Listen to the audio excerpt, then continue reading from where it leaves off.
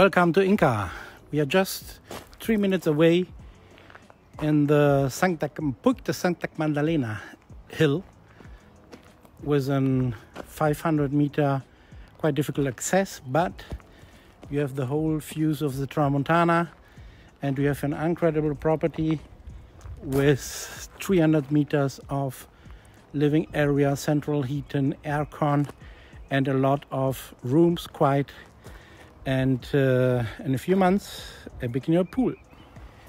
The landlord has um, go with the paperwork for the permits for the construction of a new pool. Here is a place and we're waiting to start. So maybe next summer you can use it.